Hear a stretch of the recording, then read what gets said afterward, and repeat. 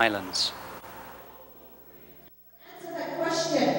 What part of illegal now became legal that we are forced into a process that does not work, has not worked, because even the bill to collaborate people, it says nothing. There's a disclaimer on this bill. These bills have been developed by Native Hawaiians, for Native Hawaiians, following extensive consultation. Ya kako, na kako ia e Ya kako i kia muaku. Ua luhi wau i ka ana, i ke kama i leo. No ko kako pilina ya Amerika. Iau, a ohe pilina ya, ya Amerika. Mampo ko iau, ka pilina. Ai, ho olu ia. Ho kaua ia. Hoi Hawaii, malalu Amerika. No ko mea mapo ia ko lako moolele, ko lako hehi ana, maluna, mini ana. Kiko ana mana maluna na kanaka apao, oi oi, mana aina apao, mapo ia ko lako moolele. Ultimately, however, it is the people of Hawaii who will decide whether these measures should be enacted into law. to hurry the acceptance of a contract upon an unsuspecting party like us, the Hawaiian people, or all the people of Hawaii, with full knowledge that it is not perfect, to me, is a willful intent to do harm. As the elected representatives of all the citizens of Hawaii, we await your guidance. It is also the laws of the Hawaiian Kingdom. These individuals repatriated back to their nation. The United States of America is aware of this government. That's why they are acting on the apology bill that was recognized in 1993. They had seven years to work out a relationship. Now they want to do it within four months and ram it down our throats. My friends, if we can't do this, you will be left in chaos. And, and the reason for the bill is to deal with the federal side. If you don't recognize the federal side, then you have no business here. There is a long list of broken promises and breaches of trust. It will take America a long time before they will ever win back our trust. One, it will protect Native Hawaiian programs, including Hawaiian homes, from court challenges by those who would deny or ignore the unique historical circumstances that makes these programs legitimate and necessary. The Office of Hawaiian Affairs has engaged in a campaign blitz using Section 5F revenues that are supposed to be used to benefit Native Hawaiians, but instead the Office of Hawaiian Affairs has turned its back on the Native Hawaiians as defined in the Hawaiian Homes Commission Act of 1920. They are not helping out the Native Hawaiians as defined in the Hawaiian Homes Commission Act of 1920. They are not helping out the, the people that are still dying on the Hawaiian Homes waiting list. Two, it will provide a mechanism for Native Hawaiians to organize and establish a legal entity for self-government, again which cannot be challenged successfully in the courts. Absent that, we have only uh, rhetorical flights of fancy. Many individuals on this force are not Kanaka Maoli. And many have taken the oath of allegiance to uphold the Constitution of the United States and the state of Hawaii. Why should we let citizens of another nation build a nation of our own choosing? so that there's no confusion as to what we're about. It acknowledges a federal trust responsibility for Native Hawaiians. It recognizes Native Hawaiians' right of self-governance as a Native people, and it lays out a process for Native Hawaiians to establish a structure of self-governance. Nothing more, nothing less. But in exchange for the potential for future funding, the Kanaka Maoli would give up their quest for true sovereignty. And I disagree with anyone who says that that is not the consequence of of what this bill would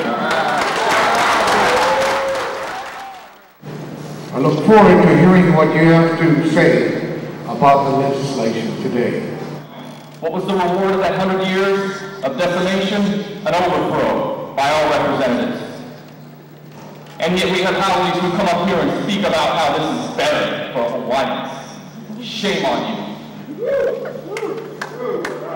This is the most wealthy nation in the world, the most powerful nation in the world, and people are dying waiting for homes, land that they own by birthright.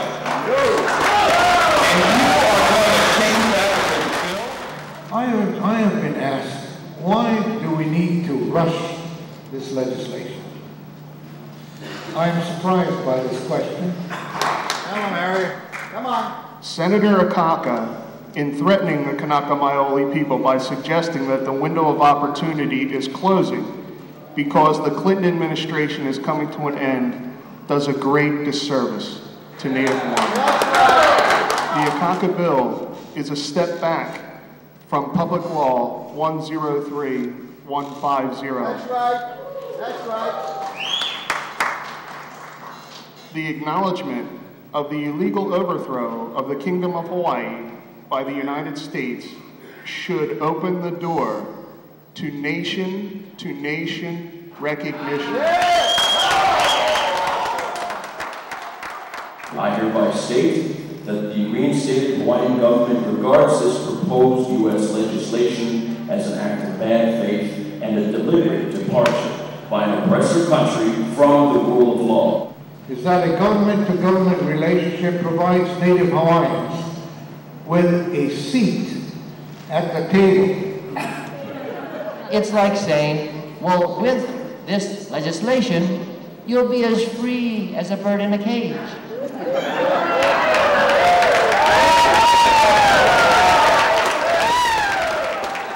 I believe in sovereignty.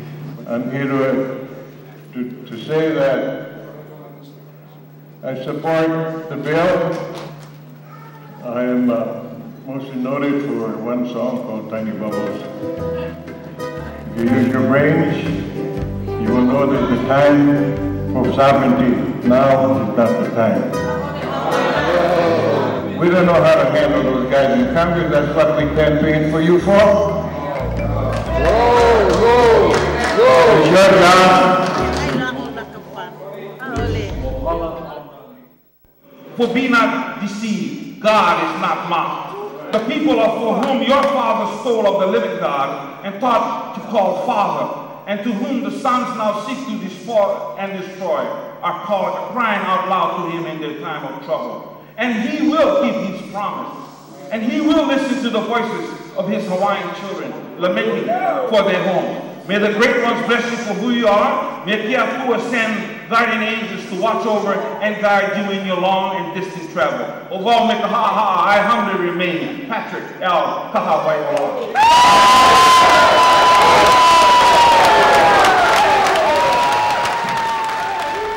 Let us see whether this idea has majority support or not. If it does not, then we can proceed to develop another approach. The televised hearings clearly showed that the majority feeling of those testifying were for complete independence and self-determination. We do not have an army to fight America for the uh, return of Hawaii. We can keep insisting on the rights until the end of time, but no one is listening. This bill is the only vehicle that will recognize us as Kanaka Maoli. Please relay our message of hope to your colleagues in Congress. Aloha and mahalo anui loa kākou. I thank you very much, Kau Mexico. to all our people with Tapini Koko who love Aloha, our Aina. You will never see your land again. Never. Not in my lifetime, not in your lifetime, not in your grandchildren, and on into the future and in perpetuity. You will never see your land from this day forth if you support this bill. That's right.